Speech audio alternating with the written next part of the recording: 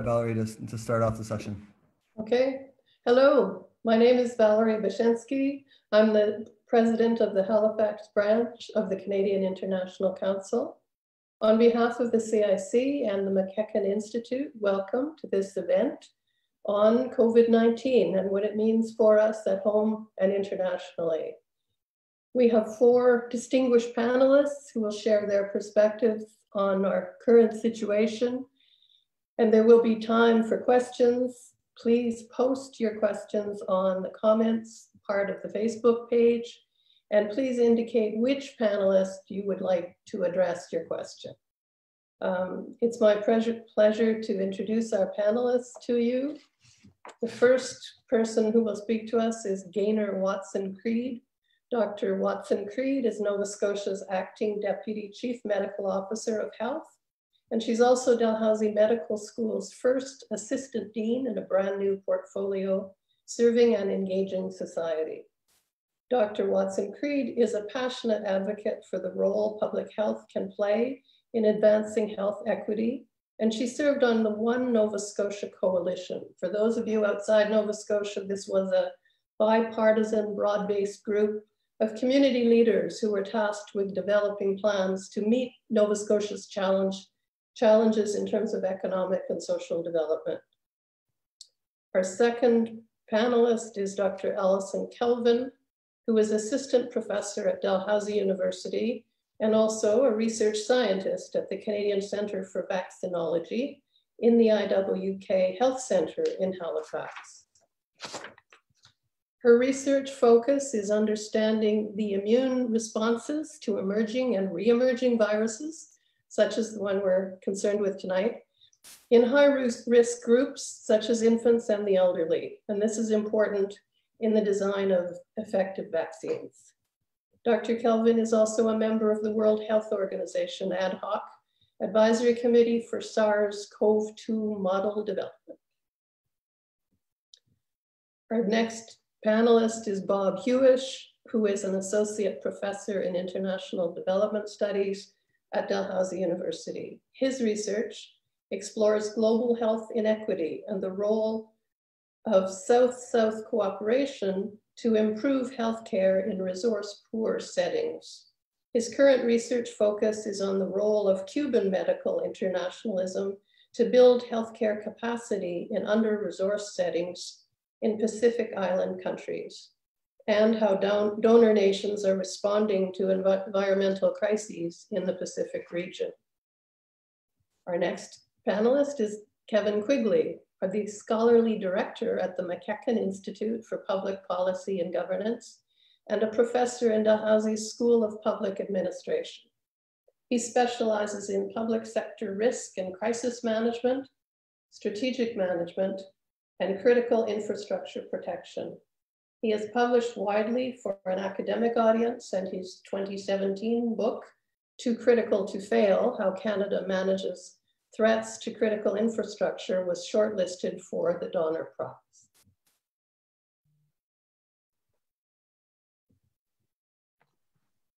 So I think we're ready for Dr. Watson Creed. Hi, everybody. I hope you can hear me okay. Uh, and thank you uh, to the CIC and the MacEachen Institute for this opportunity this evening. Um, I have to admit, in all of the sort of haste to um, deal with the coronavirus outbreak, I've not, not prepared anything uh, specific for this evening to start the panel. But in having a conversation uh, with Dr. Quigley before uh, today, you know, I thought it might be an opportunity to give the folks who were uh, watching an opportunity to see just a little bit of sort of what happens behind the scenes when an outbreak is being managed. Um, and so that's what I'm going to try and explain to you today. I um, have had the opportunity now to be a part of three pandemics in my public health career, which seems crazy to me. And I always said when I was doing my residency, um, I started my residency in public health and preventive medicine in 1999 at McMaster University.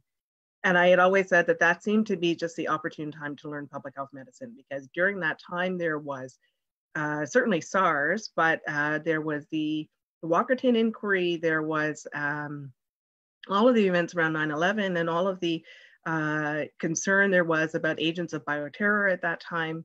Um, there were anthrax scares at that time. And so it just, and the whole world was doing pandemic influenza planning at that time.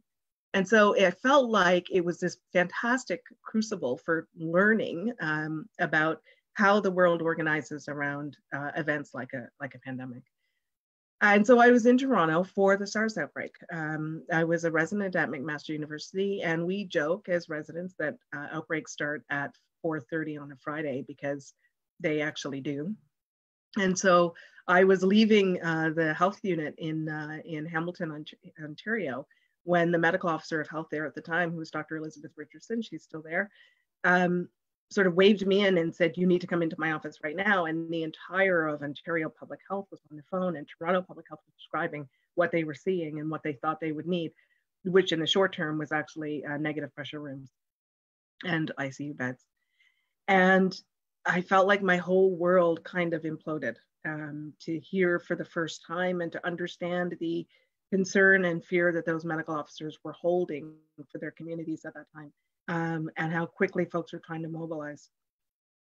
And I learned at that time that although we had been in all of these plans about pandemic and about uh, managing smallpox and anthrax at that time, all of it kind of got thrown out. And we were able to take the bones of it and use it to shape the SARS response. But real life actually doesn't follow the plan. And that was probably the biggest learning that I had from that SARS outbreak. And by the way, the file that I was assigned to at the Ontario Ministry, very glamorous, was uh, SARS in sewage and whether or not sewage could be a risk of transmission for SARS. So that's what I worked on uh, for my time at the ministry. Um, but it was an interesting learning to see that real life doesn't follow the plan. And so although the world knew what, you know, in some ways what to expect from our study of previous pandemics and and how they were managed, there was also so much about that event that we just could not have predicted. And so it went the way it went. Fast forward to uh, me coming, landing in the province of Nova Scotia and um, in 2005 and being a newly minted medical officer of health. Uh, and my first outbreaks here being uh, mumps of all things, but a massive mumps outbreak that actually ended up seeding the entire country. Um, and I'm still apologizing for that uh, to this day. Um, and then in 2009, we had H1N1. Um, and Halifax, Nova Scotia, Windsor, Nova Scotia was the first jurisdiction in Canada to experience H1N1 at that time. We were the first jurisdiction in Canada to declare that we were seeing what we believed was a novel pandemic uh, influenza or a novel influenza of pandemic potential. Um, and if folks remember at the time, there were reports coming out of Mexico where we were hearing things like there's an illness and the CDC had sent their investigative team down there and the Public Health Agency of Canada had sent field epidemiologists there and folks were wondering what was happening in Mexico. And all of a sudden uh, it popped up in Windsor, Nova Scotia in this group of students that had returned from a trip to Mexico. Uh, and so we were into um, a novel influenza strain that became a pandemic uh, that year and once again, I was reminded of the lesson that real life does not follow the plan. We had done so much pandemic planning between, you know, 2000 and 2009, the world getting ready for this after SARS um, in 2003. And then here we were, and, um, sorry, apologies. on top of everything else, I also happen to have a cold, which is not COVID, um, and that I blame entirely on my children. Um, so we, um, so here we were sort of managing H1N1 uh, at that time. And, um, and looking to the lessons that we had learned from those other events that we had been involved in, but again, realizing that there was so much of it that we had to deal with uh, on the fly. And here in Halifax, Nova Scotia, you know, nobody had predicted, all of the models for pandemic had said at, at that point that we would be looking at um, avian influenza, which was emerging in Asia at that time, and that that pandemic would likely start on the west coast of Canada and would move east. Um, and that is not at all what happened. Nobody was looking at swine flu from South America um, or Central America, and certainly was not looking at Halifax, Nova Scotia as the first uh, site in Canada uh, to experience this. And so again, real life didn't follow the plan. Uh, and so now here we are in 2020 dealing with uh, coronavirus. And I feel like, again, those same lessons um, apply. You know, this is the one of all of those, you know, sort of previous ones that I've talked about.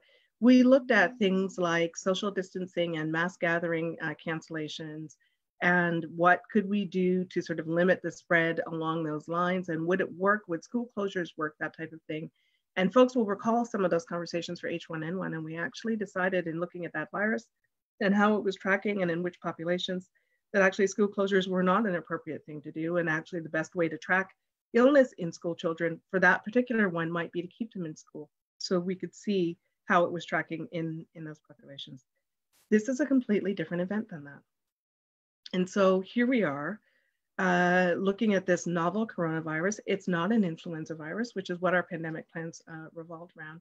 And again, seeing that real life um, doesn't follow the plan.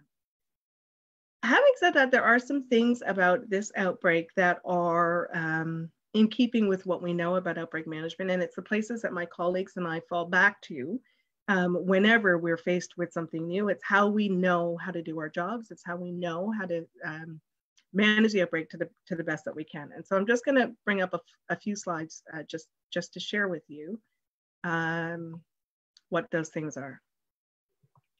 So if any of you have seen me uh, give lectures on outbreak management before, you will have seen uh, me use these slides. Um, this is the list of steps in an outbreak that you will see from agencies like the World Health Organization or CDC Atlanta. And they often uh, present the list exactly like this and it looks very linear. It almost looks like it's in order, right? So the first thing you do is you prepare for your field work. So that's the work that you're going to do, finding cases, managing contacts of cases, figuring out who the contacts are, and, and sort of uh, mapping out the chain of transmission of the disease. So you prepare for that work and then you establish that there actually is an outbreak that you need to investigate. So sometimes it looks like an outbreak and when you, because it looks like it's transmitting to multiple people. And then when you actually see it, you go, actually, it's confined to a small group of people and it's not going to go any further than that. And so we can stand down. And then you verify the diagnosis so that you know what exactly what it is that you're tracking. And then you define and identify your cases. You describe and orient the data that you're collecting in terms of time, place, and person. That's the basis of our epidemiologic work that we do you develop hypotheses around what you think is happening, where you think the transmission is going to go next. You evaluate those hypotheses and you refine them. You carry out additional studies. You implement your control and prevention measures and communicate your findings. So that's what the CDC Atlanta often uh, uh, puts out as sort of the steps of outbreak management. Students of epidemiology will learn these as the steps of uh, outbreak management. And it's a good list. We do all of those things um, when we're managing an outbreak. But what I find interesting is that impl implement and control prevention, or sorry, implement control and prevention measures is listed as step nine here. And it's not meant to be a step-by-step -step list, but it's a funny positioning of it. Because in real life, uh, certainly what, what we see and, and certainly what I always practice is this. So this is a framework that I was taught actually as a resident in, in Ontario uh, when I was learning about all of this in that context, SARS, Walkerton and everything. else. And what you'll see public health agencies do is this when we figure out that something is happening in our communities, the first thing that we will do is put in place control measures. That's this X here um, in the third line down. We'll start our investigation after that. And the reason is simple. You want to put in place the control measures as early as you can to prevent as many people as possible from transmitting the disease onward. And so before we know anything else, as soon as we know that we've got a communicable disease at, at play, it's often, you know, these are the phone calls that we're making to each other and to our public health staff at nine o'clock or 10 o'clock at night when we first get a call about a communicable disease, if it's really serious, we'll call the staff and say, please get in touch with that patient and let them know that they can do this, but they can't do these things. They can go here, but they can't go to this place. Please let them know that they need to, um, you know, remove themselves from these family members and they can't go to work the next morning, that type of thing. We'll put those control measures in first that gives us the time to figure out what else we might need to do in our investigation in order to manage the rest, uh, the rest of the outbreak. So um, real life looks more like this. It looks more like this, you know, sort of this grid of different activities that might be happening happening concurrently. They might be happening at different points in time. They will continue late into the outbreak. Um, but of all the things on this, uh, on this grid, the one that is the most important and the most difficult to do, maybe not to do well, but I would say the most difficult to get right, in fact, impossible to ever get truly right, is this one. uh, communicate. So often you will find in outbreaks, um, folks are looking for information, especially if it's a, you know, something like this where the entire world is affected. Everybody wants to know almost at every minute what's happening right now, what's happening next. The problem is that while we, you know, in public health appreciate the need for that information, we're doing this middle X of investigating. We're trying to find out the answers to those questions. And so the lag time between the investigation and the communication can cause frustration, certainly for communications officials. But it's critically important that we understand that so we know what control measures to put in place next to stay ahead of the outbreak for as long as we can. So when I'm teaching outbreak management, I often say to residents, you know, you will all have a critique of the communication plan that was used for this outbreak or the communication plan that was used for that outbreak. And some of those critiques will be valid. And my advice is don't ever expect to get the communication right because the things evolve rapidly, they will change, and that trying to keep up with that um, is really only going to be about just doing the best that you uh, and so I, I, tend to use this grid more than the CDC list because I find it's a more realistic picture of how the outbreak actually unfolds. It's never linear. It's often multiple activities happening at once to get uh, ahead, ahead of the outbreak. But we do in every outbreak, and this is the same uh, with, with this one with coronavirus, we fall back to our basic tools, our basic good foundational epidemiologic science that drives how we manage outbreaks. We collect line lists, which are the lists of uh, affected persons and their contacts and information about them, like what were their symptoms, when did the symptoms start, so we can get a sense of who is this affecting, who is it not affecting. And if we can get a sense of that, then we know who to look out for next in that affected group um, so that we can stay ahead of that outbreak again. We use that information uh, to, to generate epidemic curves uh, which are those fancy sort of uh, curves that show, and folks would have seen these, for example, the, the curve in China, which is now back to baseline, that show basically how the epidemic has tra tracked over time. Um, we use maps and mapping, and this has been uh, an extraordinary uh, addition to this particular outbreak worldwide is the degree of mapping that's being supported by the WHO, and folks will have seen the online uh, coronavirus tracker from uh, Hopkins University in the US, that uh, from Johns Hopkins that um, is really showing in real time. They're updating it multiple times a day where the uh, outbreak is and how it's going in those uh, various affected countries. We've talked a lot about this, this uh, particular notion of the R naught, um, which is the reproductive rate of the organism at play. So how quickly does one infection become multiple infections in a group of, of people, that type of thing. Uh, attack rates is a similar notion. So what proportion of the uh, population is likely to be affected, we look at that. And then in some cases, we're able to implement case control studies, not so much for an outbreak like this, but certainly for foodborne outbreaks, we'll often do that um, to, uh, to see if we can get a sense as to what the source of the outbreak was. But in this particular case, we haven't had the need to do that in part because the, the, the source is, is relatively evident now. So we're still relying on our basic tools in, in this one. Uh, and of course, we're doing all of this to do this flattening of the curve that folks have heard so much about. And I was in an interesting conversation today with some uh, colleagues from across the country. We've been meeting twice a week, sometimes more frequently, to talk about the outbreaks in our different provinces and where do we think we need to go next as a country. And we have all been focused on this notion of flattening the curve, but we had one colleague from BC who reminded us that actually, as long as we still think we have the opportunity, the imperative for public health in Canada is actually to squash the curve, um, to obliterate the curve, to completely demolish that curve if we can. Here in Nova Scotia, we have 68 cases reported as of today. Um, that's not an impossible dream for us to think that with 68 cases in a population of nearly a million, that we could get far enough ahead of this, that we could um, that we could significantly flatten the curve, um, if not obliterate it.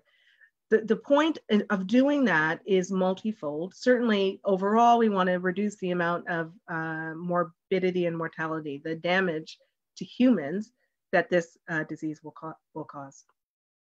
But in addition to that, we want to avoid overwhelming the, ho the hospital system uh, with disease. And so the horizontal line that you see here is hospital capacity. And what we want to do is keep the curve below the capacity of the hospitals to cope.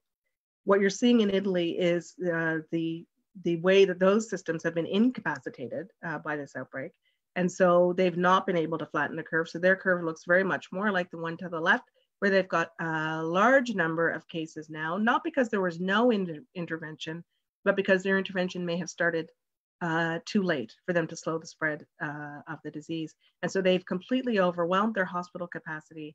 Uh, and that's in part now contributing to the mortality, the death rates that we're seeing in Italy where hospitals can't cope. So our job here is to stay below that hospital capacity line and flatten this curve as much as we can. It means that we will have a longer outbreak, but overall we would have a much less impactful outbreak. To give you a sense of what that longer outbreak means, um, BC, I think, is now entering something like their 11th week since their first reported case of coronavirus. Uh, here in Nova Scotia, we are entering our uh, second week. And uh, China's outbreak was sort of from end to end about 10 weeks. So we're already seeing with the Canadian efforts that our curve is longer than the Chinese curve. If you use BC as a starting point, that's good news. How much longer that curve will be remains to be seen. It's going to be measured likely in months, not in weeks. Um, but that is the point of the interventions that we're doing is to flatten that curve as much as possible as possible so that we stay below the hospital intervention, uh, you know, sort of maximum capacity. So all of this is, is, you know, kind of routine for us in public health. This is a science that we know and we see an outbreak like this and we say, okay, so this is another one, but it's not so different than the other ones and we can't cope. And I think in, in many ways right now with coronavirus, that's where we are. But what I have found fascinating about this particular outbreak uh, is a few things. Uh, one is, you know, this outbreak is happening at a time in the world where we have never had access to the types of technology that we have now. So the way that information flowed in this particular outbreak to me has been extraordinary. The mapping of the genome of this coronavirus uh, in the very, very early weeks of the Chinese outbreak is just unprecedented. The sharing of information, the standing up of those uh, real-time dashboards around coronavirus is uh, extraordinary. The fact that we can, to some degree, with some success, it's early days in Nova Scotia, we'll see how it goes, move to virtual platforms for working and managing an outbreak is unprecedented um, the number of citizens who are weighing in with ideas and opinions and um, and uh, theories, some good, some not good, about coronavirus and where it comes from is extraordinary. Uh, and so I don't know what it what that all means uh, for how this outbreak ultimately will, um, you know, sort of be recorded by by comparison to the other ones I've I've mentioned but I, you know, of all the things that are similar to me about this pandemic versus the ones I've been in, those are the things that stand out to me right now as being the most uh, different and um, interesting, I guess, is what I would say. So uh, by way of open, opening remarks, I think I'm just going to leave it there. I hope that's what the moderators intended. Um, and I think it's on to the next panelist from here.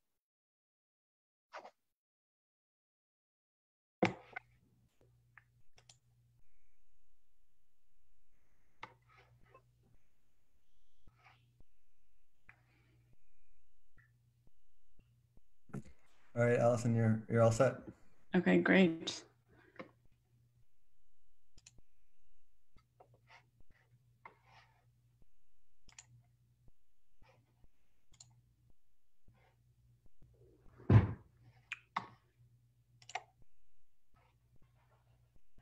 So hi everyone, uh, my name is Alyson Kelvin and again I'm an assistant professor at Dalhousie University my research focuses on emerging viruses and re-emerging viruses. So um, this is these types of viruses are what I study.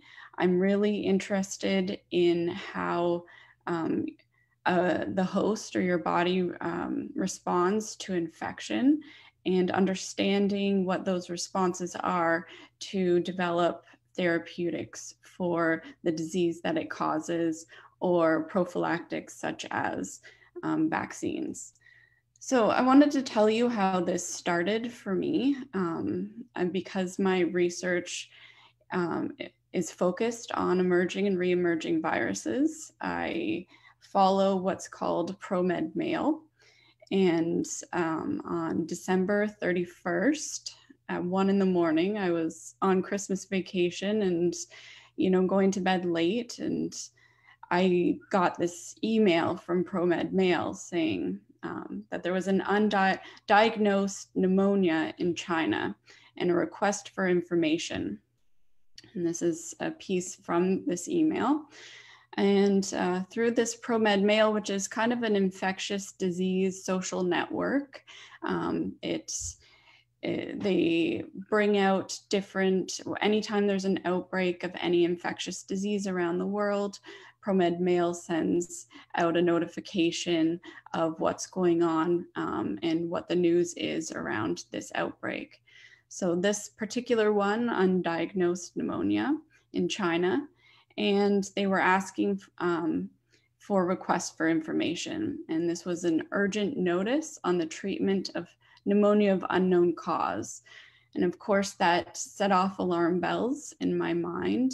How could they not know what um, was causing this, what the infectious agent that was causing this pneumonia? And then uh, I went back and, you know, reading through this email, there was a lot of warnings here. And again, we're, we're back on December 30th, 31st. And here it said, according to the above documents, and this is all written in uh, the correspondence, uh, according to the urgent notice from the superior, some medical institutions in Wuhan have successfully appeared patients with pneumonia of unknown cause. And then it gets to me very um, very moving. Uh, the email says all medical institutions should strengthen the management of outpatient and emergency departments. So, really, a warning going out to the world saying that there was this infectious agent causing pneumonia. Um, they didn't know the origin of this, and watch out in your hospitals as you have patients come in and be ready to manage those. And of course, this is what we're seeing now. And hopefully some of some of this um, warning that went out was picked up by um, people in Canada. So on January 9th, which was only about 10 days after, the infectious agent was identified as a coronavirus, um, but this was a previously uncharacterized coronavirus that we now know called to be called SARS-CoV-2. So as soon as this was identified, um, because I have an interest in the, uh, these emerging and re-emerging viruses, I contacted my colleagues. Uh, the first one, uh, Darryl Falzarano at VIDO-InterVac, and he is a coronavirus um, expert. And, uh, and I also contacted Jason Kindrachuk at the University of Manitoba and my colleagues here at Dalhousie University.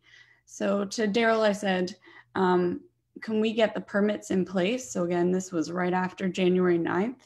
can we get the permits in place to study this virus? Um, I think it's going to be important. Or he said to me he wasn't too worried about this virus at that time. Um, and then with my colleagues here at Dalhousie, we um, began uh, forming a team to work on this virus, which I'll talk about later.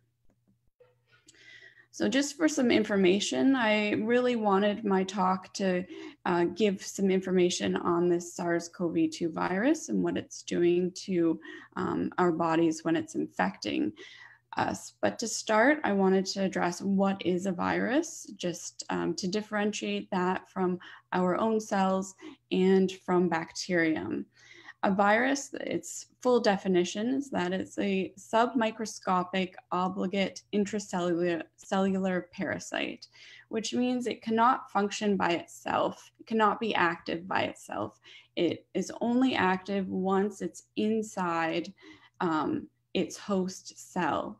So um, basically, it's not going to, um, it's not, again, not going to be active unless it's able to get inside and kind of take over the host cell machinery to make more virus. And this is why we call it an intracellular parasite. Uh, the word virus comes from the word meaning toxin or poison. So a little bit more about the SARS-CoV-2. Um, it is short for severe acute respiratory coronavirus 2. And what the SARS-CoV-2 virus is, again, it's a coronavirus and it's enveloped and you can kind of see the envelope here. Um, and around the envelope are all these protein spikes. Um, and these spikes are what allows the virus to get into the host cell. And actually the word corona came from um, how the virus looks under the microscope, that it looks like it has this crown uh, surrounding it. It was called uh, SARS-CoV-2 because um, the genetic sequence put it most similar to the human SARS coronavirus from the 2002-2003 outbreak. But what was what's interesting is that these um, coronaviruses, so SARS-CoV and SARS-CoV-2, uh, cause a severe pneumonia but typically, coronaviruses, which there are a couple that circulate in the human population right now, they cause the com- a common cold, so typically leading to mild symptoms. Uh, what's alarming, though, about this SARS CoV 2 virus is that it's the third coronavirus to cause severe pneumonia, possibly leading to death since 2002. The first one being SARS SARS-CoV, the second one being MERS, um, the Middle East Respiratory Syndrome virus, and now we have SARS-CoV-2. So um, this is really an indication that we need to start to pay more attention to coronaviruses and how they're spilling over from the animal reservoir into people. So um, what what does this do to our bodies? This sars-cov-2 virus infects the cells that line our respiratory tract and these are they are called epithelial cells. And the reason why this sars uh, coronavirus uh, causes severe pneumonia is because it infects the respiratory epithelial cells that are in the outer reaches of our lungs down here whereas uh, the more mild um, coronaviruses are known to infect the upper respiratory tract and not um, typically make it down to the lower reaches. So this virus causes a range of symptoms, which um, asymptomatic uh, disease or asymptomatic people have been noted. But typically the mild disease that um, is caused by this virus is uh, fever, cough, shortness of breath, and then often there's evidence of pneumonia on x-ray or CT scan. Uh, pneumonia can range from um, being severe, uh, comes in really a range, um, where the more severe cases of this SARS-CoV-2 have severe pneumonia, which leads to acute respiratory distress syndrome or ARDS, and then this can also lead to sepsis and possibly uh, multi-organ failure. So what happens in pneumonia, and you can see in this lower panel that um, the the epithelial cell lining of the lung shown here, so this is the lower reaches of the lung, starts to thicken compared to the healthy lung above an A. And then also there's a buildup of fluid and cells in um, the lower reaches of the lung. So that's what we're talking about with severe pneumonia. And the um, people who are at a higher risk of developing this severe disease from uh, SARS-CoV-2 are older ages, so over 65, people with type 1 and type 2 diabetes, and hypertension. So I also wanted to give just a bit of insight into the uh, molecular differences between mild and severe disease and what happens when those cells in the lower reaches of our lungs are infected. So here um, I'm showing uh, corona, SARS-2 coronavirus infecting our epithelial cells. And once um, the, this virus infects our epithelial cells, there's this release of cytokines from the cell. And these are protein messengers that are released from the cell, from the epithelial cell, to relay a message to um, our immune cells. And some of these might be inflammatory and some of them um, might have other, play other roles. So after the cytokines are released, these protein messengers, there's this switch in the mild cases from cytokine release to antibody production in our B cells. And here you can see the antibodies being released from a B cell.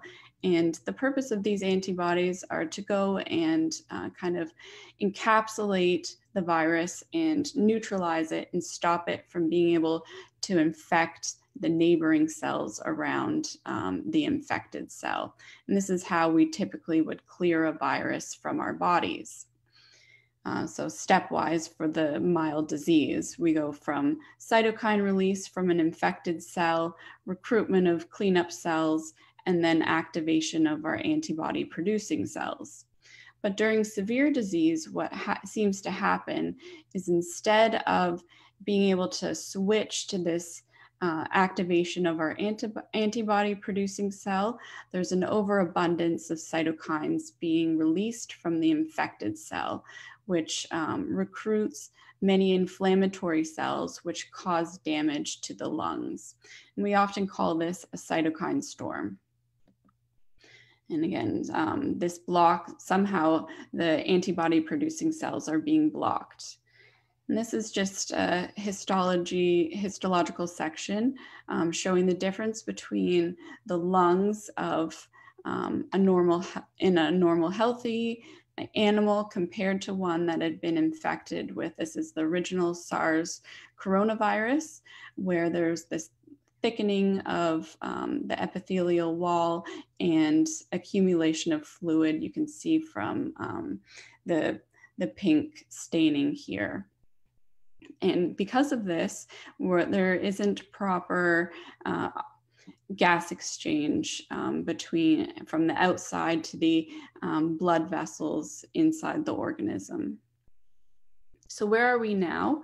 Um, this is the John, John Hopkins um, map that was referred to earlier.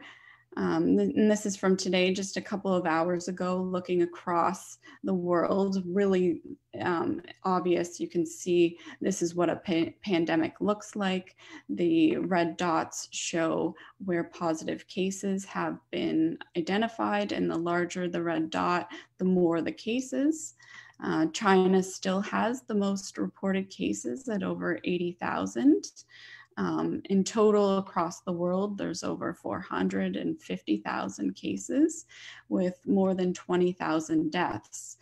Uh, looking at Canada, we've only have um, uh, just under 3,000 cases reported with 110 recovered and 27 deaths. So uh, we want to be watching these numbers to calculate um, our epidemic or pandemic statistics just as a comparison between flu and uh, our other coronaviruses, uh, the SARS-CoV-2 is shown here second. Um, our reproductive rate for this virus has been calculated to be between two and three. So the number of people that a single infected person will go on to infect is between two to three people. But um, what's important to remember is that just as flattening the curve, we have the power to change this reproductive rate by not allowing the virus to spread and be transmitted to other people. So far, the case fatality rates, the number of people that have died from this virus out of the number of people who have confirmed um, to have it is about 3%. Um, compared to flu, the, the statistics are very different. Flu has a lower reproductive rate and a lower case fatality rate. Uh, I guess um, looking to SARS and MERS, they both have higher case fatality rates, um, but these these were able, MERS is, was able to be um, controlled because it has a very low reproductive number. Compared to uh, our SARS-CoV-2. So, what are we doing about this? I spoke a bit about our Dalhousie COVID 19 rapid response team. Um, we initiated this team shortly after the virus was identified. So, right now, um, these are members of the Dalhousie Microbiology and Immunology Department, and we are members of the Canadian Centre for Vaccinology. So we have a group that's working on vaccines, a group that's working on antivirals, and then a group that's working on point of care diagnostics. So looking at our vaccines, um, uh, Roy Duncan and Chris Richardson have both designed their, um, their own vaccines. Roy Duncan has been uh, collaborating with a company called Entos he has a has um, developed a DNA vaccine which can quickly be scaled up uh, for human use, which is the advantage of using a DNA vaccine. But of course, um, this vaccine needs to be, uh, we're just starting evaluations now. Chris Richardson, on the other hand, has developed more traditional vaccines, um, which are based around the SARS CoV 2 spike protein.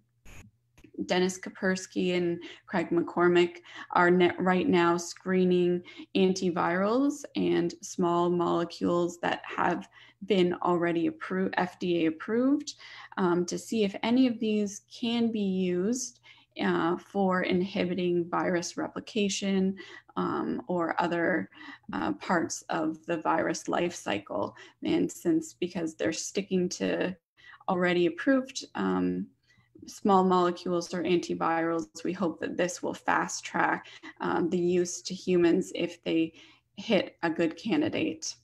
And then finally, David Kelvin is working on a point of care diagnostic where he's hoping to um, develop a kit to help stratify severe and mild patients by evaluating biomarkers of severe disease. Um, so together we're, we're working on this problem and hoping to have some positive results soon. So thank you very much.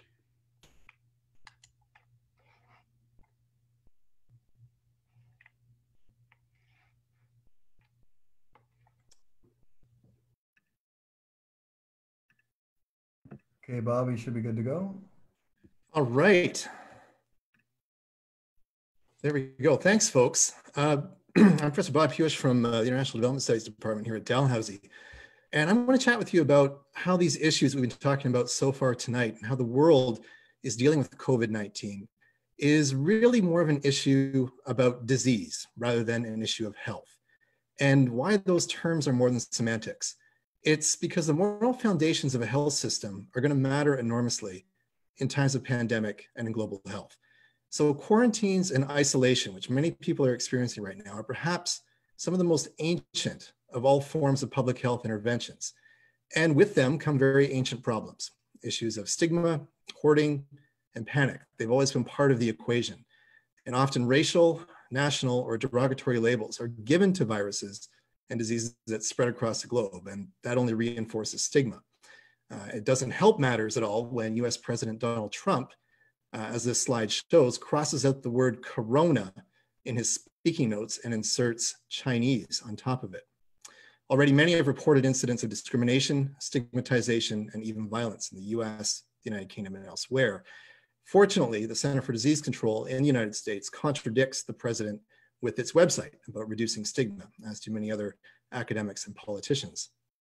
But world leaders like Mr. Trump ones that made their way into positions of power based on politics of division, conflict, and misinformation, give the virus tremendous advantage in this time.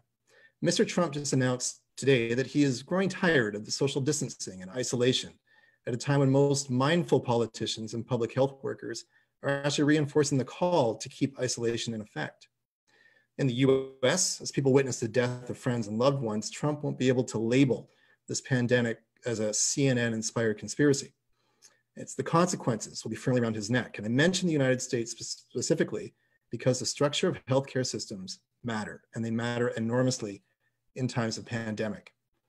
Universal systems like Britain, Israel, South Korea, Canada are often in better shape to mobilize resources and to protect health workers rather than dysfunctional systems.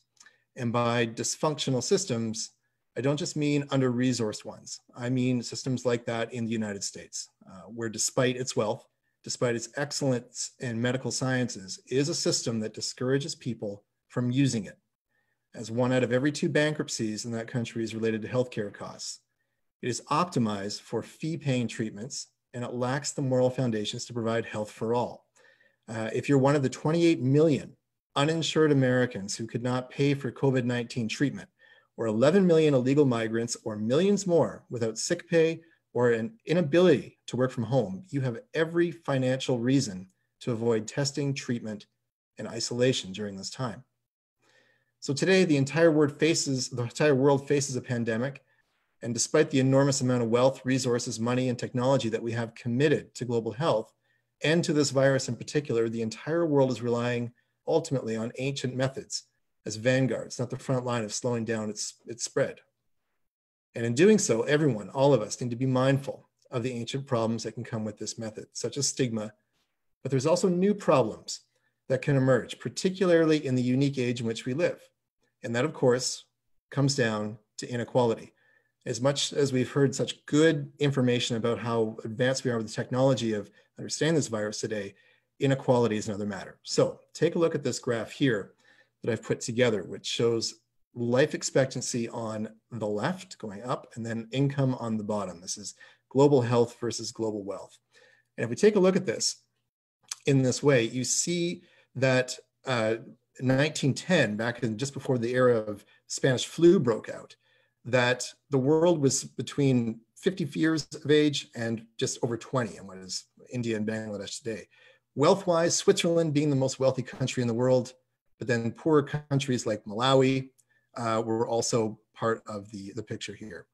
And here, going through the, uh, the years, uh, Spanish flu, moving forward, you see that many of these countries have very different relationships when it comes from wealth and health. 1930s, the depression, there was famine in the Soviet Union at that time. But as we see moving into World War II and then after the World War II years, we see that uh, many of these countries start to increase, both in terms of life expectancy and in terms of national wealth. Many countries moving up and more to the to the right. Uh, this is this is what many people say. Look, we've made such progress, such incredible progress of improving both global health and global wealth over the past hundred years. In many ways, that's correct, because the countries in 1910 are no longer in that little zone where they were, but instead we actually see enormous inequality. You see where these bubbles have moved, they've moved to, uh, well, basically uh, a differentiation in wealth that we've never seen before, and also that in terms of health. Where most of the world was sick and poor back in the era of Spanish flu, now there's quite a bit of wealth and, and resources today. However, uh, those numbers uh, that we see today aren't equal. Uh, we don't have time tonight to get into the play by play, but the theme is similar. When Spanish flu hit, most of the world was sick and poor. Now only a percentage is. In 2020, some people are enormously wealthy and others are dependent on robust health systems, but others are not. And what's more, it's not just the inequality between nations that's a concern, it's the inequality within nations that's the greatest concern. There's First Nations and Northern communities, they bear increased risk, not just to COVID-19, but to health issues more broadly than the rest of Canada. And the same could be said of Maori communities in New Zealand or the suburbs of Paris or London. In San Francisco, you can actually map out the health inequalities block by block between rich and poor. So the point is that just because COVID-19 is consuming every calorie of our daily lives right now, our interactions, the, the, the structure of our economy, it does not mean that the daily grind of health challenges have come to an end. So as this graph here shows, that the total the total uh, uh, cases of the virus has increased day by day, but the broader global health picture looks something like this.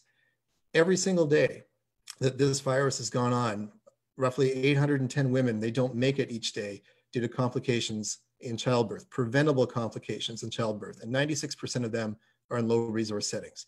Each day we lose some 26,000 people from, from cancers, and 70% of those people are in poor and middle income countries. We also lose 49,000 people a day around the world from cardiovascular disease, and 75% of those deaths are in low resource settings. These are all horrendous mortality counts, and the global economy, the global system did not derail itself to prevent or stop those issues. But now we have derailed our system completely for this virus, which we think does not discriminate, meaning that anyone is vulnerable. But unlike heart disease, cancers, and maternal mortality that does discriminate towards the poor, COVID 19 gives the impression that it's indifferent. But rest assured, it's not. Healthcare systems around the world that work with deep inequality will fare the worst of this. In India, social distancing and self isolation is impossible in a Mumbai slum. Up to 23,000 people can be condensed into a square kilometer. Western Africa, access to food, markets, resources are essential in maintaining health, and any disruption can have serious secondary health consequences there. But these are the ancient consequences of ancient methods of public health. So, why then is a response to COVID 19 grounded in such methods? Simply put, isolation is a non pharmaceutical intervention against a virus. It is about dealing with an illness, it's not about ensuring health. And it's funny how we think about health. If I ask you to define health, could you do it? If you look at a dictionary or a first year medical textbook, you'll see that health is a widely defined as a lack of disease. And in this sense, it's defined as something that it is not. Many health professionals uh, do define health as a state free of illness. And that in itself is a bit odd. It, it, it, and it exposed itself during pandemics. If you look up the definition say of an apple in the dictionary. It will give you a very detailed description of fruit in terms of the texture and the taste, and you may even learn that it's part of the rose family. The definition of an apple does not read, it is not an orange. Yet our definition of health often reads, it is not illness. So this is why many health systems struggle globally in times like this. And certainly there's, there's money, there's resources, there's technologies to cure, treat, and heal, but to maintain health in times of inequality is a challenge without proper resources. Cuba, a country with health services for foreigners and nationals that does very well, applies the same idea to those in isolation that are provided for, and their income is also provided for as low as it is. Still, it's assured. In Cuba, doctors and nurses, community members do check on people in their homes in isolation to assure their wellness, to assure that they're able to participate in these quarantines. And what's more, Cuba just sent hundreds of its own health workers to Italy to help with overwhelmed system there. Now, this approach, the way that, that Cuba has based a long-term foundation on ensuring population health, is in many ways exemplary. It's, it ensures health to their own, it helps others, not through fear, but through conviction, compassion, cooperation, which is exactly how to handle this crisis. Uh, the challenge then is for other systems around the world that are dysfunctional, that focus only on illness rather than health. The, the disjointed health systems like that in the US that incentivizes people not to engage with it. If anything, it encourages hoarding and poor behavior. And coupled with that is a lack of assurance and insurance for vulnerable populations. So right now, Airbnb is encouraging homeowners in Connecticut, the Hamptons, New Jersey, to open their homes to wealthy Manhattanites so they can quarantine for a couple of days away from the fuss and bus of the city of New York while it is scrambling. Now that city has 5% of all cases worldwide and that number is doubling every three days. The governor has offered to employ any nurse or doctor from surrounding states to help, but the nurses and doctors are struggling to find protective gear, hand sanitizer, or groceries after the wealthy clean up the shelves during the day while they are on shift. The US will be the one to watch during this pandemic, as we will see how under equipped that system is to handle a pandemic. So, like I said, there are other health concerns that are going on, and to which we did not derail our global economy for. We've done that now for this case. Isolation will be effective for, for societies who can do it. It'll be devastating for the global poor who cannot isolate or who rely on uh, who or, or who rely on supply chains that are now disrupted. And for societies that choose to ignore public health advice, the consequences will be dire as well. So we can expect serious mortality outcomes from this pandemic. We've heard about the elderly and those with pre-existing conditions being vulnerable, but recognize that poverty and marginalization are also pre-existing conditions. And this virus will take its opportunities with those communities around the world. When we emerge from this disruption, will we rebuild systems that support health for all? Or will we repeat mistakes and rely on systems and methods that are simply outdated for this global health demand of the 21st century inequality? Thanks very much.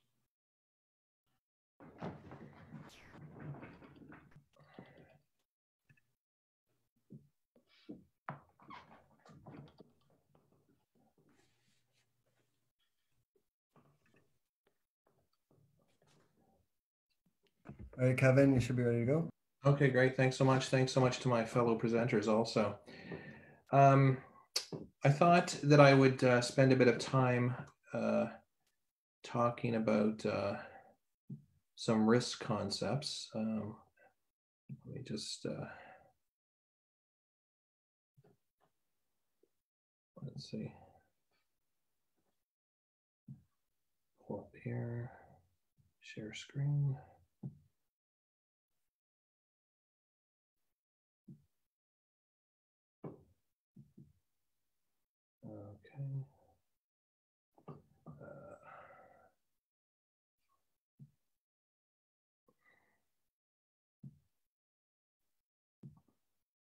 Okay, great. I think I'm okay. All right, so I thought I would just go through a few, uh, sort of apply a sort of risk governance concept uh, or risk governance lens on this uh, problem and use some concepts to explore this issue and think about some current debates and some debates that I think we're going to be having, um, if not now, soon, although I think Bob has alluded to, uh, to some of them already in his presentation. So I want to talk a little bit about uh, risk governance and the precautionary principle. Uh, but I thought I would start by uh, reminding us of a tragedy, a different kind of tragedy that happened uh, almost two years ago. So on April 6th, we'll be recognizing the second anniversary of the Humboldt bus crash.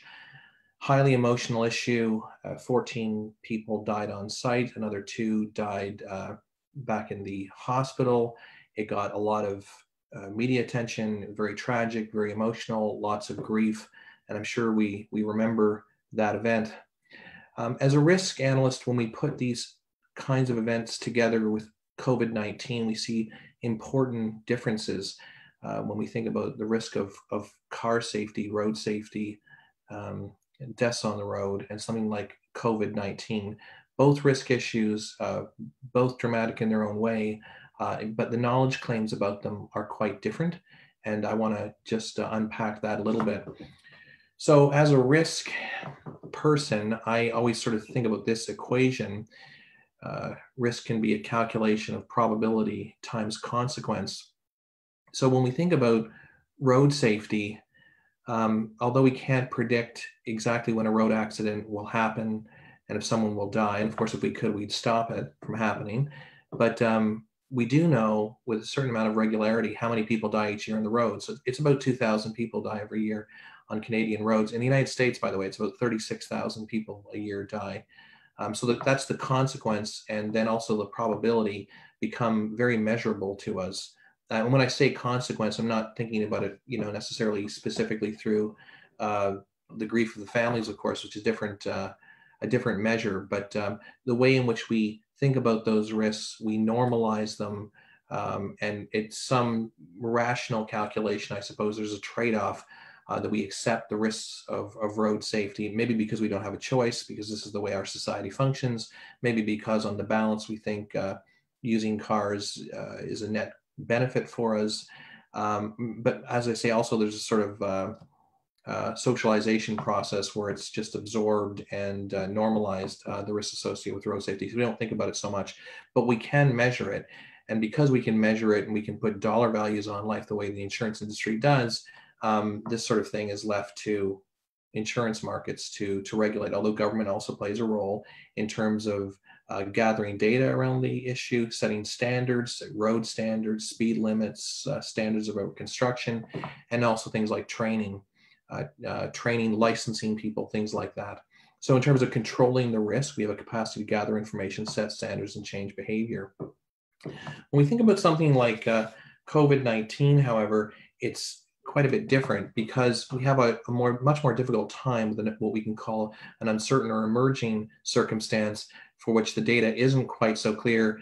Uh, and i think uh, gaynor alluded to this uh, point earlier around the uncertainty involved uh, and the cases aren't exactly quite the same and they emerge in different ways. There has obviously been a lot of learning progress. There's still uh, uncertainty around how these issues emerge. So I often use a, a, a model by the International Risk Governance Council, um, which is a, a, group that's been doing some great work for the last 15 years at least on risk governance. And they classify risk in four different ways, which I, I think gives us some uh, a bit of a roadmap in terms of how to think about these risks. So simple, complex, uncertain, and ambiguous. When we're thinking about a simple risk, we're thinking about, there's nothing particularly simple about it in terms of the calculation, uh, but these are risks for which we have a lot of data and experience. We can uh, more comfortably uh, attain probability data and understand the consequence data to come up with some sort of risk measure. And, and your road accidents tend to fall into this category, road safety. Complex risks are industrial failures, um, you know, rail derailment, uh, pardon me, uh, train derailments, uh, bridge incidents, things that are industrial in nature and their complexity. And they usually depend a lot on expert advice. An uncertain risk is a, a, a risk for which we do not have enough data to really understand the risk uh, the probability, the consequence, the reach. And when I talk about the uncertainty of the risk, I'm not talking strictly about the health consequences, but also the economic consequences. So there's really a lot of uncertainty that informs the risk. There's an absence of reliable data.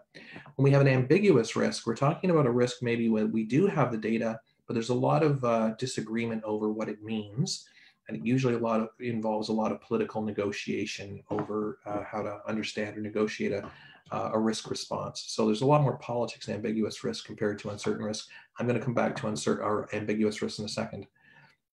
I'll just put this framework up. This is the IRGC's framework, and they have a, a risk governance model that has four stages. Um, first stage is pre-assessment. Pre-assessment's about where do you get your data from? How do you frame this problem? How do you understand this problem? What are the scientific conventions that you use when you're uh, assessing this problem? Then you move to risk appraisal which is on the top risk assessment, which is largely about technical assessment by technical expert, experts, but also it's about concern assessment. Are people worried about this? Do we have polling data? Do we know how people feel? How stable is it? And then we get to tolerability and acceptability. How tolerable is the risk? Are we prepared to tolerate this risk? And to what extent are we prepared to tolerate it? And of course, who decides on that uh, particular level of tolerance? And then we eventually get to a box called risk management where we develop some options to address the risk. The thing to think about is risk management is not strictly about options analysis. It really starts at the very beginning from the data that you get, how you collect your data, how you technically assess your risk, how public opinion and concern assessment fits into it, and your ability to tolerate the risk. And so, as I say, with road safety, we tolerate risks. Um, with things like uh, COVID 19, it becomes a little bit more complicated because we don't quite understand it yet. Um, so one of the interesting things about uh, the IRGC framework is that they um, they say that different stages require different levels of attention. So any kind of risk would go through each of the four stages. Um, but when we're talking about an uncertain risk, we're particularly concerned about tolerance. That is a key question. When we're facing uncertainty, when we don't have reliable data to know exactly what the future looks like, what the consequences and reach of the risk will be, to what extent can we tolerate this risk? So uncertain risks um, exist when there's a lack of clear scientific basis for decision making. Uh, kinds of risks we talk about usually that are uncertain risks are terrorist attacks, climate disasters, and pandemic. And all be classified as uncertain, or sometimes it can be referred to as emerging risk. The emerging and uncertain in, in the IRGC is pretty similar.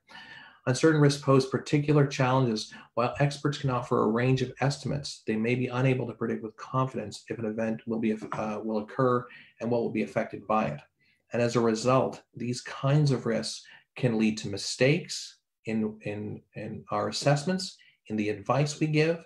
They're also subject to a lot of bias, particular bias, people's emotional reactions to certain uh, potentially uh, anxious situations or not particularly anxious, but it plays right into bias because we don't really have a lot of facts to offset those biases. If the facts, in fact, would help, and maybe relate back to some of the communications challenges that uh, Gaynor referred to also. And it also it leads to volatility, overreaction, underreaction by people in terms of how they consume healthcare, or also volatility in terms of um, um, markets, uh, as we've seen with the stock market reacting up and down uh, to the to the uncertainty. So we would classify COVID-19 as an uncertain risk. And so one of the things we want to think about when we're thinking about an uncertain risk is um, given that we're facing uncertainty and uh, how do we want to address it? So one of the key questions is, is it potentially catastrophic or irreversible? Because there's a lot of uncertainty in life. Um, but we want to think a little bit about before we make our play we, we want to think is there the potential for a catastrophic outcome or an irreversible outcome? So when we're thinking about environmental issues for instance uh, irreversible becomes a very key point. Um, so if it's a catastrophic potential or irreversible potential uh, then we want to take a precautionary stance. Now i would say with covid-19 right now the, the stance is precautionary and it's low tolerance um, we're we're trying to manage that risk down as much as we can, or manage that uh, curve down that uh, Gaynor showed us.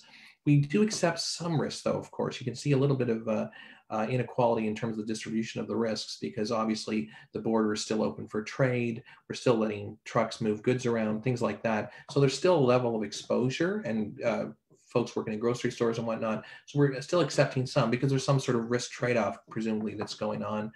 Um, and uh, so although we're managing the risk down, we still accept that there's still a certain amount of uh, a still amount of a certain amount of risk that we're prepared to accept at a sort of macro meso level, even though there might be some, you know specific individuals who are accepting that risk on our behalf.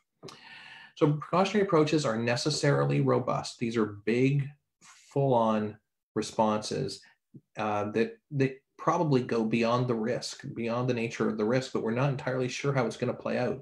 So it is natural when we're thinking about an uncertain risk for which we do not have enough reliable data, that we're going to take a naturally robust stance. That stance is going to be a very expensive stance. It's going to be expensive in terms of frontline operations, uh, but it's also going to be expensive in terms of economic consequences, and we're seeing that uh, play out in terms of uh, the slowing of the economy in reaction to uh, various policies we've adopted uh, in the face of this particular uncertain uh, threat. So the precautionary principle gives rise to a number of controversies and questions, and I want to flag a few of them. And uh, I think these are good, these are questions not that we're asking right now, but I think we're going to be asking at some point. And um, I think in some cases in the US, I'll pick up on this in a second, but in some cases in the US, they're already asking some of these questions. So one is the, the, the definition that we actually use for the precautionary principle, because uh, the literature would suggest there's quite a bit of variation and some of the, the kind of controversies or questions that come out of the definition of the precautionary principle revolve around some of these questions. What is the strength of evidence that is required? Uh, is it strong evidence um, that is required in order to take a precautionary approach? Is it sufficient evidence, quote unquote, uh, is it adequate info, uh, or even inconclusive evidence? So if we're in a face a state of uncertainty, is that sufficient to take a precautionary approach? So those we could be in a state of when we were looking at an uncertain risk, we could say the situation is inconclusive or it's sufficient, um, or maybe even strong. But in time, the answer to that question might change about what kind of evidence is required to justify the precautionary stance that we're taking. The second thing is what is the necessary action that we take? What does it mean to be precautionary? Do we eliminate the risk? Uh, do we adopt cost effective actions to eliminate the risk? Or do we merely consider adopting uh, necessary, uh, necessarily robust actions? Who provides the proof? Who pays for the collection of that proof? Um, and who makes the decision? Are some other things that will come along uh, when we start thinking about the precautionary principle and some of the controversies that may emerge in time in the, the face of this particular risk. I'll just highlight that this this debate's already starting to play out a little bit in the U.S. and Bob Bob alluded to it earlier in his remarks about President Trump. So David Katz has uh, has made an argument that um, not quite the same as Trump, mind you, but uh, made an argument that uh, we need to take a, a, broader look and think about the financial consequences that come with our precautionary stance.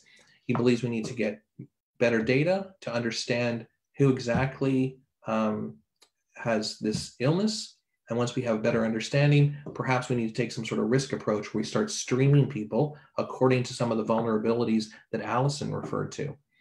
So Marc Lipsitch from Harvard, uh, somewhat similar, but somewhat not so similar as uh, David Katz, is kind of pushing back and saying, no, no, we can't start talking about streaming our approach to this uh, particular problem. It's too early. We don't understand enough yet. And that we know by looking at other jurisdictions that the consequences of this could be very, very serious. So we have to maintain the precautionary approach. Uh, we can't start talking about streaming. So I'm not sure that David Katz would necessarily disagree with that, but he is saying we do need to get better data, and then we have to start having a more tiered approach to the way we approach this problem. So I highlight this as a sample of a debate um, some parts of the US are having, and I think in time, depending on how we do, people are going to start asking questions about how we're adopting a precautionary approach, precautionary stance here. So I'll just end off on a couple of slides with some practical considerations uh, on this uh, on this point. So if we assume precautionary approach, uh, we've got to continue to gather data. We need to develop flexible standards, probably not commit ourselves to hard standards for the rest of time based on worst case scenarios, right? So we need to have flexible standards that we adjust through time. And we do have to have an eye on, on our timeline so that how long do we have certain standards in place? When do we revisit? So I think that's one important consideration. So we got to continue to gather the data. We have to adopt standards, yes, but have flexible standards that we can adjust up or down depending on the circumstances. And we have to have one eye on the clock. Second thing I would say to those of you working in a public or private or not-for-profit organizations. I do a lot of work with the government, though. I think about public servants. Um, it's really the time for a lot of scenario planning um, to to assume some reasonable worst-case scenarios. What does it look like? And I'm not thinking specifically about the health sector at this point. I'm actually thinking about other public agencies that are affected by this, who's uh, who are monitoring parts of the economy that are really struggling. And you, I think maybe to take a sort of one month, two month, six month outlook and say what what does the future look like? What, what could different futures look like depending on certain variables?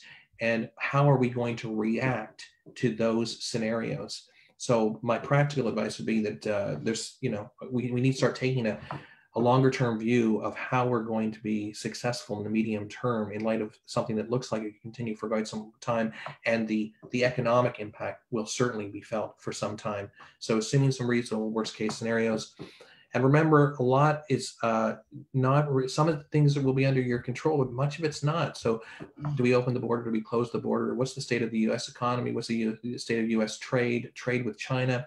These are things that are not going to be within the control of your organization, um, but you're going to have to respond to it. So trying to characterize and describe a narrative of the future or various futures and thinking about how you can be successful in light of whatever the future might hold. Um, a couple of other points. Um, our trust in public institutions is incredibly important at this particular uh, moment.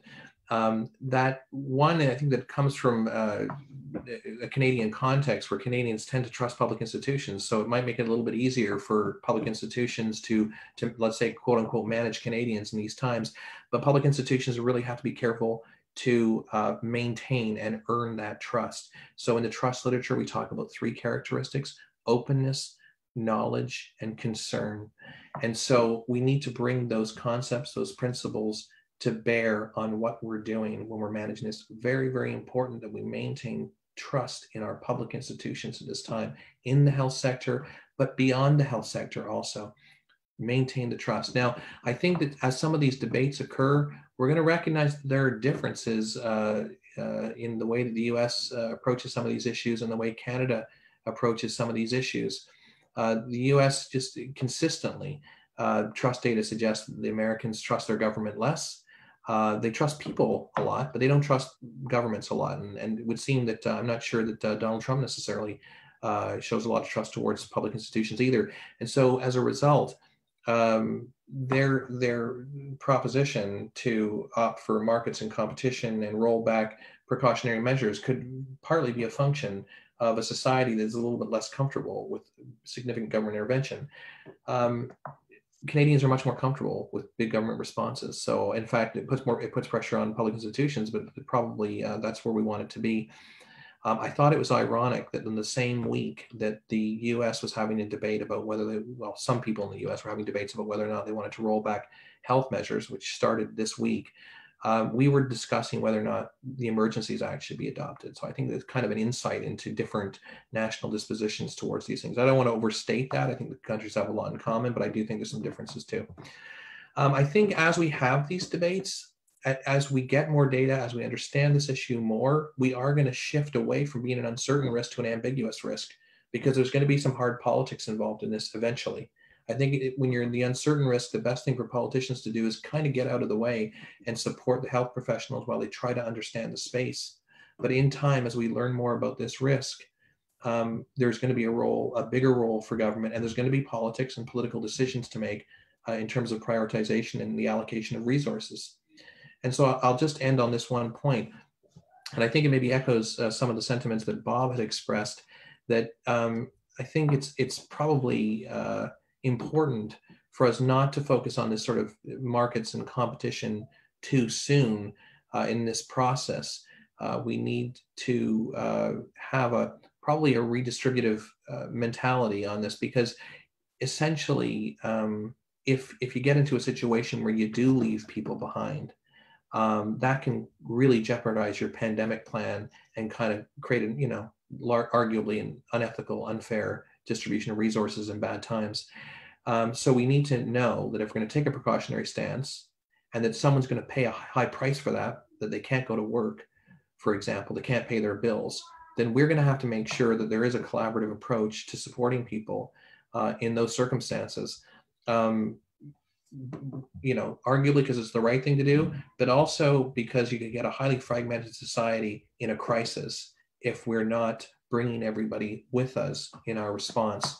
So I'll leave you on that point, and I'll just uh, say that I did write a little bit about this in Too Critical to Fail. There's a chapter on H1N1 and media coverage of that particular event, and there's lots of uh, additional literature on risk governance and the IRGC framework in that book if you want to follow up uh, further on these issues. So thank you so much, and I look forward to any questions you might have.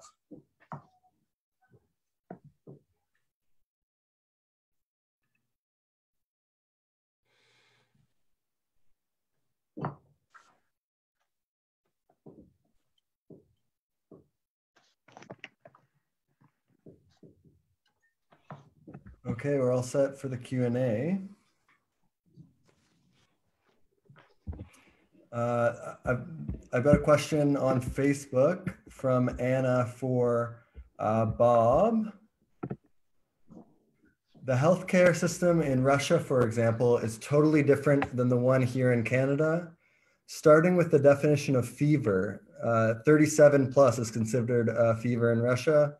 People are tested and hospitalized with mild symptoms of COVID 19.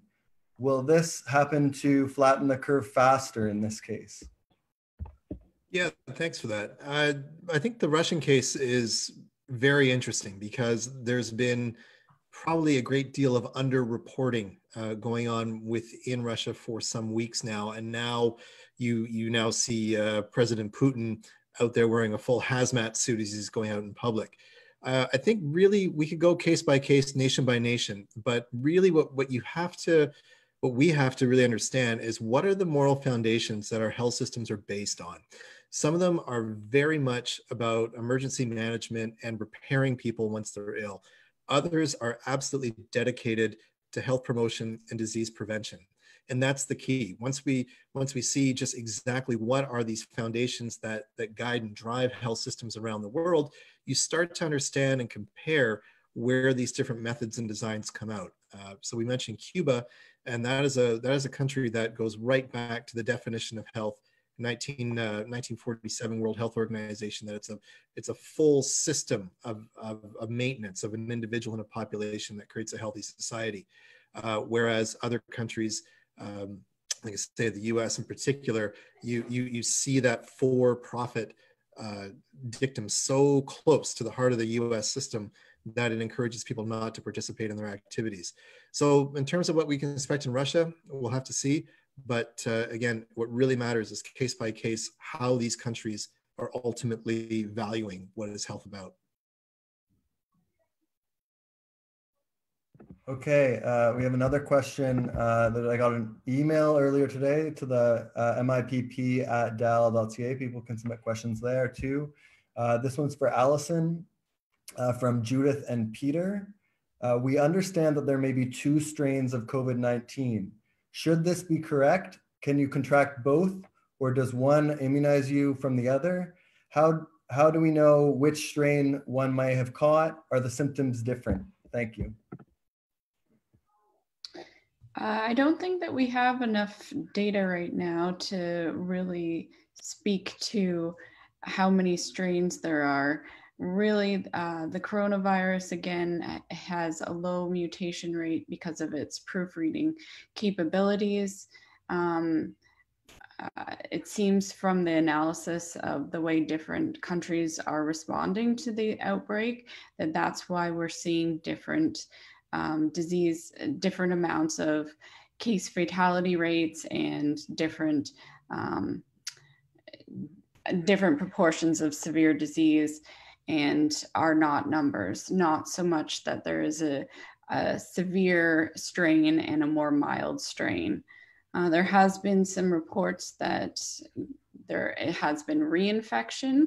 Um, so far, I really think this needs to be thoroughly investigated because um, once you recover from a viral infection, um, most often you have long-lived antibodies or cytotoxic T cells that are specific to combat this um, pathogen that should leave you immune for for several months to several years and sometimes for certain viruses throughout your entire life.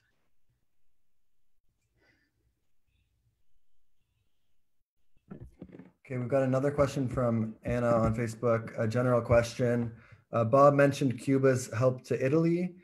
Uh, I could add to that 15 Russian airplanes full of medical labs and doctors, plus Chinese masks sent out in a form of support uh, to Italy. Uh, will it change the international scene uh, in the long run? If yes, then how? If not, why not?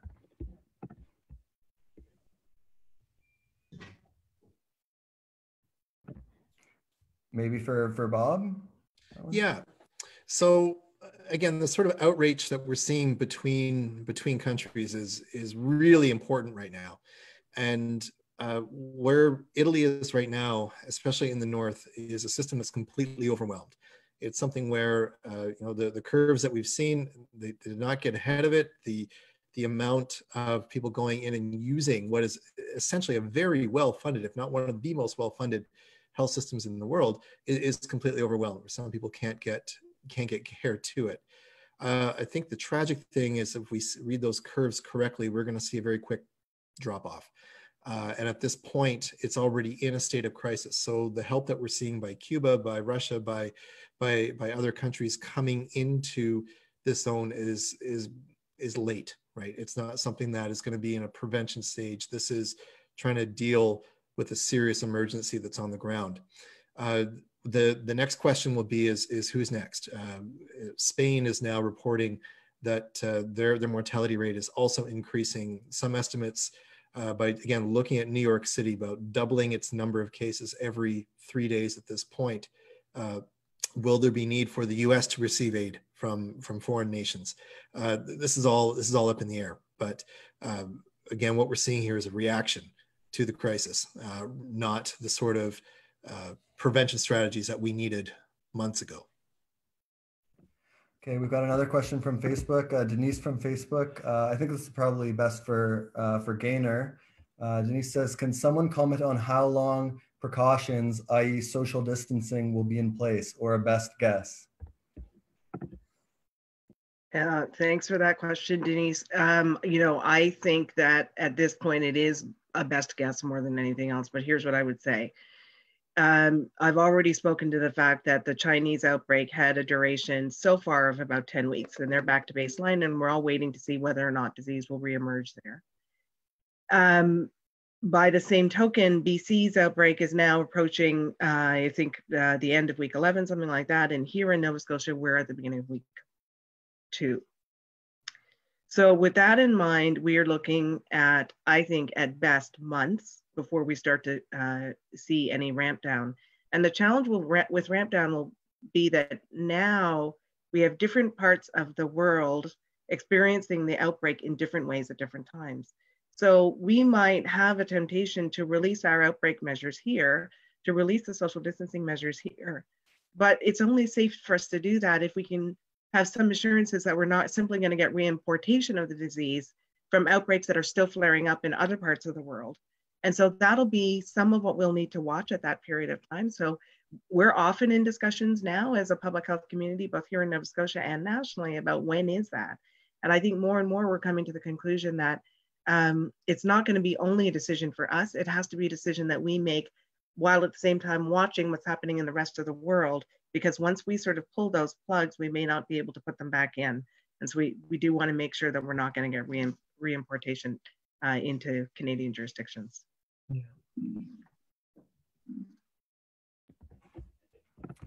Okay, uh, there's one from uh, Charles on Facebook.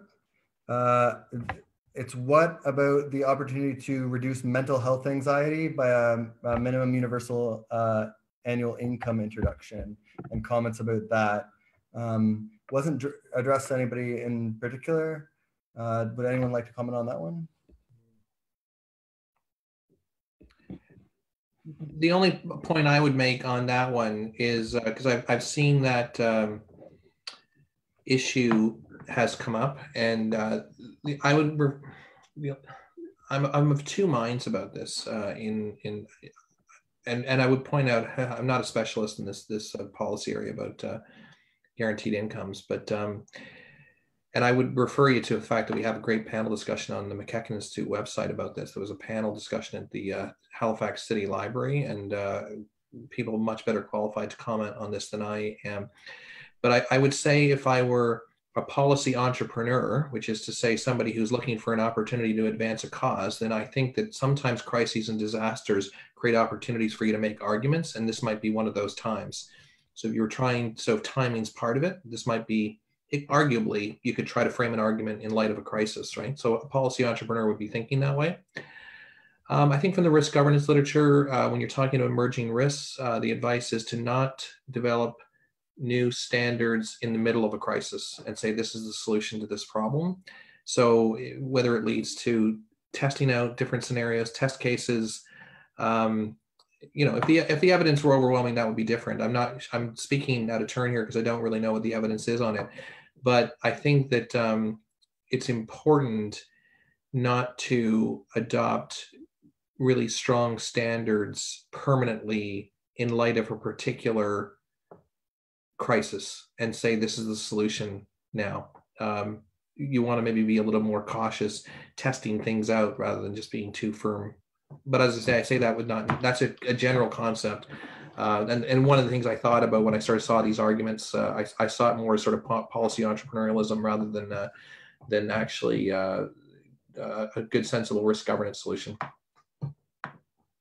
Okay, so we got uh, two questions just came in, and I think that, that then we got to wrap up just in terms of time.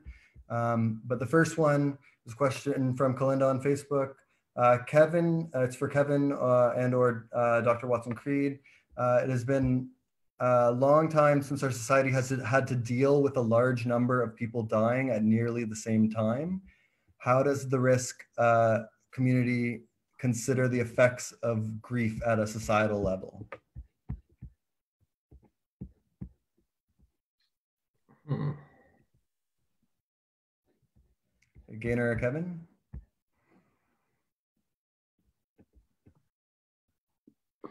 Yeah, it's such a beautiful question, and I, I wouldn't pretend to know the answer, but it it's been weighing on my mind, um, in part because I, I feel like we're going to feel the grief in multiple ways and in multiple different communities. Um, you know, there is um, the certainly the loss of connection. There is the uh, potential, the high potential, I think, for widening of disparities uh, as a result of this pandemic um, the long recovery that that will take and the and the extension of the grieving period i think that will go uh, that will go with that and there's the day-to-day grief that people are still experiencing and now having to uh, in their lives and having to learn to deal with that in different ways um, throughout this pandemic. So all of that is there for me in this question. Um, I, I, guess you know one I, i'm not really sure what the answer is but one of the things that i that i that i point to i guess two things. One is that whatever the answer is um, I think it's going to be something that we're going to have to revisit regularly as this pandemic unfolds. So I think it was Bob, uh, or maybe it was Kevin's slides actually that was making the point that um, there's going to come a point probably in the not distant future, in the next few weeks, where we're going to get tired. We're going to want to, we're going to be grieving. We're going to want to retract from where we are, um, loosen the restrictions that we have, like the US is talking about now. And the impacts of that could be devastating. And so I think it's this question of how do we, you know, sort of uh, continue to be resilient through that grieving is going to come up time and time again. I guess the other thing I would say is that um, there is something in this pandemic, and I, you know, I had the opportunity to have a conversation uh, recently with a with a former colleague, uh, Senator Stan Kutcher, who was reminding me that um, some of what's getting labeled as anxiety in this, and some of what is is grief, is also related to fear that is appropriate but also has an antidote in um, um, taking control of what we can. And currently in Nova Scotia, that's taking control of the social distancing um, measures and other measures that you can that you can hang on to, sort of to protect your your own family and loved ones. So I think that's part of it too. Is um, is keeping an eye on what we can control throughout this uh, pandemic. Kevin, I don't know if you have anything to add to that. Yeah, I I, I think about these issues a lot uh, too, Gaynor. I I um so you know i looked at a lot of crises disasters uh, you know humanitarian disasters in history uh, in my research. And of course one of the things that's uh, amazing about it is how this has changed over time over over you know centuries about the way we have to deal with with uh, mass casualties and, and death. And actually in some cases not too too long ago when we think about the Second World War, the First World War. Anyone who's been to a small town in France is always moved by the cenotaph in the middle of a, of a small French village that lists all of the mostly young men, young men who have died in those villages during the First and Second World War. And you look around these villages and you think these are tiny places, and they're listing 30, 40, 50 young men who died during the First World War. Uh, and so I, I feel part of it is that we can't even uh, relate to that kind of reality? How could we even put our mind in that place and understand that? I think that would be very hard. And I think we're, in some respects, what I would say, uh, picking up a little bit uh, on some of the things that uh, Alyson and you've talked about, Gaynor, is what an incredible story this is in some ways of public health in terms of some of the things that we've achieved in this particular case to manage this risk. It's it's it's kind of phenomenal. But we have, I think, over time been sheltered from some of this grief uh, and when I think about some of the things that Bob has talked about tonight, um, that there are other parts of the world that have to experience large scale grief all the time. And we are sheltered from that experience. So it, it's happening elsewhere. It's not happening necessarily in our communities. And it, and it, it, it is, I, so I feel like the point of departure, when I think about sort of the anchoring effect, it's different. And I think the question, I mean, in some ways, I'm just sort of unpacking the question rather than answering it, that it is true that I don't think um, we are accustomed to this kind of mass grief. And, and, maybe one last point on this and some of the work that I have done. Um, so Paul Slovic has done some really great work, a, a risk psychologist, about our ability to uh, address uh, mass suffering. And he's looked at things like genocide and says, you know, why does this keep happening? Every time it happens, we say never again, never again, but it keeps happening. And it's partly because of our inability to process mass suffering, that we can't seem to identify with mass suffering. So, those people who are trying to uh, connect with us on this issue will often focus on the power of the one, focusing on the one child who suffers to try to amplify the risk. So, in some respects, what we end up having uh, is if, if that one child doesn't reflect a bigger population, then you have this kind of distorted effect that one child dying can set off profound reaction, uh, a, a, profound sense of grief. But our ability to, to deal with a thousand kids dying, we're somehow limited cognitively in our ability to engage with that. So there may be this other part of it. There, there's a kind of hardening process or distancing process because you're going to have to get through it, and something's going to have to kick in and change the way you think about that problem. So I, I those are some a few thoughts, but I certainly would say that over over time we have become much better off in our society in terms of mass suffering and grief. Uh, just just in terms of the data and how many people do die in these sorts of things, it's a lot less. I don't think we are um, psychologically, emotionally equipped to deal with these things right now. One one thing, if I can just jump in real quick, uh, Kevin. the uh, I, I, do believe that yes, there's a lot of suffering, there's a lot of emotion that's going on this time, and I think that we have to be very cognizant that it will pass, it will come to an end, and when it does, there'll be a lot of time for reflection. There may be time for celebration, and I hope that uh, Alyson and, and Gaynor, that your offices are on the forefront of that celebration. But I also think that it's a moment to recognize other actors who are keeping things going right now. Our emergency service workers for sure, but but also uh, the, the grocery store workers, the people who are actually still serving gro uh, groceries to people. These are these are students who are working extra shifts to pay for their tuition.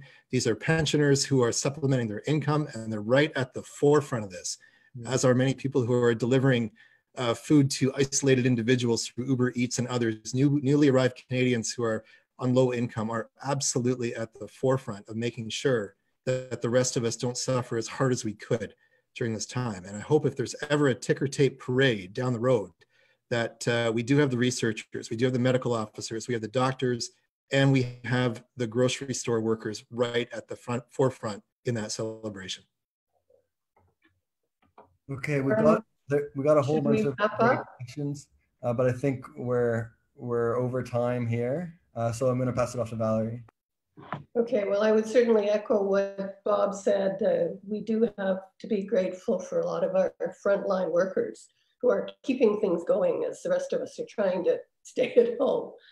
Um, so thank you to all of our panelists, to Gaynor and to Alyson. I think you both gave us a very good behind the scenes look at what's happening that some of us wouldn't have any idea about. Bob, it was very sobering to hear what you were having to say. Um, in terms of inequality, I do think we need to look at inequality in, in, in Canada as well as internationally. Um, and I think what you have to say about health and how we define it is, is very important. Kevin, obviously you asked some very interesting questions and things we should be thinking about and planning for on, on a long-term basis. So I would like to thank my colleagues at CIC who came up with this idea and MacEachen Institute in particular, who took the lead in planning this, and in particular Warren, who directed